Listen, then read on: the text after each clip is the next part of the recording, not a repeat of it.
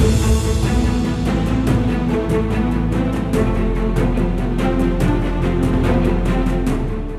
21 ਦਿਨ ਦੇ ਲਾਕਡਾਊਨ ਦੇ ਕਰਕੇ ਕਈ ਲੋਕ ਦਿੱਕਤਾਂ ਦਾ ਸਾਹਮਣਾ ਕਰ ਰਹੇ ਨੇ ਤੇ ਕਲਾਕਾਰ ਲੋਕ ਜ਼ਰੂਰਤਮੰਦ ਲੋਕਾਂ ਦੀਆਂ ਮੁਸ਼ਕਿਲਾਂ ਨੂੰ ਦੂਰ ਕਰਨ ਦੇ ਲਈ ਜ਼ਰੂਰਤ ਦੀਆਂ ਚੀਜ਼ਾਂ ਮੁਹੱਈਆ ਕਰਾ ਰਹੇ ਨੇ। ਇਸ ਦੇ ਚੱਲਦੇ ਇਸ ਬਿਮਾਰੀ ਦੇ ਹੋਣ ਦੇ ਕਾਰਨਾਂ ਦੇ ਬਾਰੇ ਜਾਂ ਕਹਿ ਲਵੋ ਕਿ ਇਹਨਾਂ ਹਾਲਾਤਾਂ ਬਾਰੇ ਕਲਾਕਾਰਾਂ ਨੇ ਆਪਣੇ ਜਜ਼ਬਾਤ, ਗੀਤਾਂ ਦੇ ਰਾਹੀਂ ਤੇ ਕਵਿਤਾਵਾਂ ਦੇ ਰਾਹੀਂ ਲੋਕਾਂ ਦੇ ਨਾਲ ਸਾਂਝੇ ਕੀਤੇ ਨੇ। ਇਸ ਤੋਂ ਪਹਿਲਾਂ ਬੱਬੂ ਮਾਨ ਨੇ ਵੀ ਇੱਕ ਗੀਤ ਲਾਕਡਾਊਨ ਰਿਲੀਜ਼ ਕੀਤਾ ਸੀ, ਜਿਸ ਦੇ ਵਿੱਚ ਉਹਨਾਂ ਨੇ ਕਈ ਗੱਲਾਂ ਸਾਹਮਣੇ ਲਿਆਂਦੀਆਂ ਤੇ ਹੁਣ ਮਾਲਪੁਰ ਦੇ ਸਿੰਘੇ ਨੇ ਵੀ ਲਾਕਡਾਊਨ ਤੇ ਆਡੀਓ ਗੀਤ ਰਿਲੀਜ਼ ਕੀਤਾ। ਜਿਸ ਦੇ ਵਿੱਚ ਉਹਨਾਂ ਕਿਹਾ ਹੈ ਕਿ ਲਾਕਡਾਊਨ ਇੱਕ ਰਾਤ ਆ ਕਹਿੰਦੇ ਦੇਸ਼ ਉਸ ਨੇ ਜਿਹਨੂੰ ਹਲਕੇ ਚ ਲੈਂਦੇ ਸੀਗੇ ਪਿੰਡ ਦੇ ਮੇਰੇ। ਤੇ ਨਾਲ ਹੀ ਉਹਨਾਂ ਨੇ ਹੋ ਰਹੀਆਂ ਮੌਤਾਂ ਤੇ ਲਾਸ਼ਾਂ ਦਾ ਜ਼ਿਕਰ ਕੀਤਾ ਤੇ ਦਲੇਰੀਆਂ ਦਿਖਾਉਣ ਵਾਲਿਆਂ ਤੇ ਵੀ ਸਵਾਲ ਕੀਤੇ ਨੇ। ਖੈਰ, ਰਾਣਾ ਰਣਬੀਰ, ਗਿੱਪੀ ਗਰੇਵਾਲ, ਹਰਭਜਨ ਮਾਨ, ਗੁਰਦਾਸ ਮਾਨ, ਪ੍ਰੀਤ ਹਰਪਾਲ ਤੇ ਕਈ ਗਾਇਕਾਂ ਨੇ ਇਸ ਹੋ ਰਹੇ ਮਾੜੇ ਹਾਲਾਤਾਂ ਦੇ ਬਾਰੇ ਕਈ ਗੱਲਾਂ ਸਾਂਝੀਆਂ ਕੀਤੀਆਂ ਨੇ। ਫਿਲਹਾਲ ਭਾਰਤ ਦੇਸ਼ ਹੀ ਕੀ ਪੂਰੀ ਦੁਨੀਆ ਇਸ ਦੀ ਉਡੀਕ ਕਰ ਰਹੇ ਨੇ ਕਿ ਕਦੋਂ ਇਸ ਭਿਆਨਕ ਬਿਮਾਰੀ ਤੋਂ ਰਾਹਤ ਮਿਲੇ, ਪਰ ਇਹ ਤਾਂ ਆਉਣ ਵਾਲਾ ਸਮਾਂ ਹੀ ਦੱਸੇਗਾ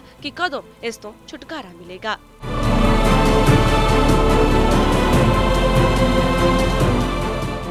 all world open challenge 17 time gold medalist मियां रफीक मोहम्मद पंडित मौलवी बेगम तांत्रिक इन चोरा ठग्गा तो सावधान ਸਪੈਸ਼ਲਿਸਟ ਵਸ਼ੀਕਰਨ ਸੱਟਾ ਨੰਬਰ ਲਵ ਮੈਰਿਜ ਪਤੀ ਪਤਨੀ ਚ ਅਨਬਨ ਵਿਦੇਸ਼ ਚ ਪੱਕਾ ਹੋਣਾ ਕਾਰੋਬਾਰ ਦਾ ਨਾ ਚੱਲਣਾ ਸਿਰਫ 31 ਘੰਟਿਆਂ ਵਿੱਚ ਸਮਾਧਾਨ free free free Mian Rafiq Mohammad mobile 843747494647 84374 94648